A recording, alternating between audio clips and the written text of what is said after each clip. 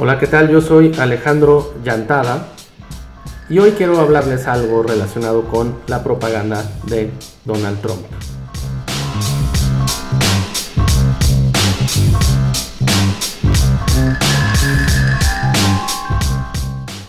A un día de las elecciones, quiero recordarles que existe algo en propaganda que se llama el efecto bandwagon, que viene de la idea de que la gente quiere subirse al vagón del ganador. Así es como las encuestas afectan la decisión de los votantes al querer los indecisos ser parte de los que ganan, o sea, votar por el que va ganando en las encuestas. Este efecto ha sido comprobado por infinidad de estudios y es la razón de publicar encuestas favorables para, para cada candidato, las cuales sabemos muchas veces son truqueadas.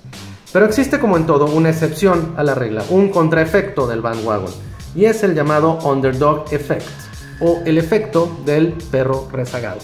En votaciones reñidas, gente puede sentir empatía por el que va perdiendo y eso puede cambiar por completo el resultado final de las elecciones. Es claro que los estrategas de Donald Trump buscan este efecto del perro rezagado al declarar que reconocen estar atrás de Hillary Clinton en las encuestas.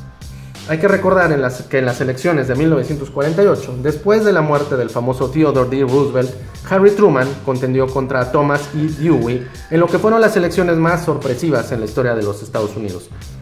Prácticamente todas las predicciones, todas, incluyendo las que eran basadas en opinión experta y las encuestas al público, decían que ganaría Thomas E. Dewey.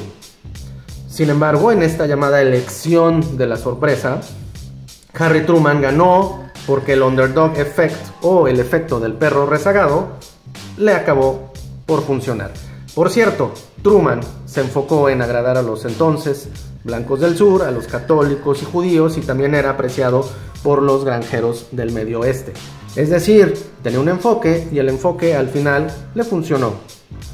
Trump tiene un enfoque, si no igual, parecido en táctica y estrategia y las elecciones sorpresivas de 1948 son su paradigma. Son el paradigma que él quiere seguir.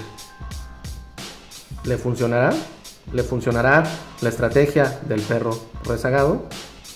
Yo soy Alejandro Llantada, consultor en persuasión, mercadotecnia e imagen pública y pueden encontrarme en las redes sociales como Alejandro Llantada. Hasta luego.